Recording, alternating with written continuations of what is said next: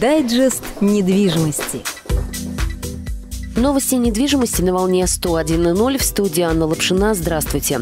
Обязать власти достраивать проблемные дома и снизить для обманутых дольщиков ставку по ипотеке потребовали покупатели квартир в кировских долгостроях.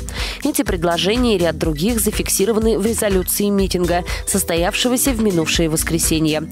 Его участники, всего их было около 70 человек, также предлагают ввести наказание для глав российских регионов. Если проблемы дольщиков решаются слишком медленно, губернаторов нужно отстранять от должности в связи с утратой доверия, зафиксировано в документе. Передать резолюцию планируется в областное правительство, Заксобрание, администрацию Кирова, а также в Государственную Думу и аппарат президента Путина. В случае неисполнения требований авторы документа обещают защищать свои права любыми законными способами, вплоть до акций гражданского неповиновения, уточняет Newsler.ru. Дайджест недвижимости. Дом отдыха Ксенинский в Кирово-Чепецком районе выставлен на продажу.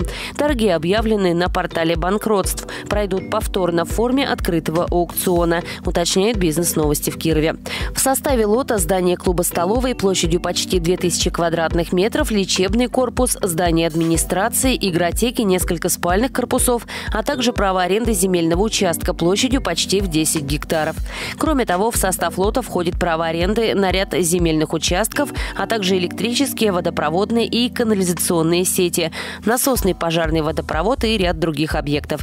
Начальная цена превышает 24 миллиона рублей. Заявки принимают с 19 марта по 24 апреля. Итоги аукциона подведут на следующий день. Напомню, дом отдыха Ксининский признали банкротом еще в 2012 году. На предприятии введена процедура конкурсного производства. Дайджест недвижимости. Очередные требования о банкротстве Кировской региональной ипотечной корпорации поступили из Москвы. Исковое заявление о признании Крик банкротом поступили в областной арбитражный суд от ОРБанка.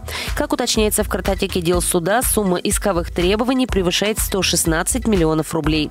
Ранее иск на банкротство Крика подавала компания «Граждан Ремстрой». Однако в середине января стало известно, что стороны подписали мировое соглашение, напоминает бизнес-новости в Кирове. На этом все. В студии работала Анна Лапшина. Дайджест недвижимости.